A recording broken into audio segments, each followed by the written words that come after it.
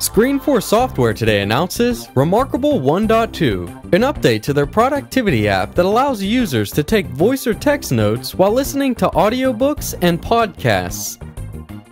The ideal note taking solution for audio based learning, notes are saved and organized by audio program, date recorded, and time into the program.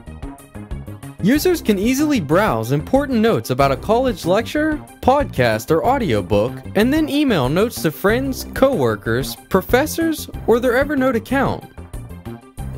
Remarkable Notes for Audiobooks and Podcasts 1.2 is $3.99 and available worldwide exclusively through the App Store in the Productivity category. For more information, please visit www.remarkableapp.com.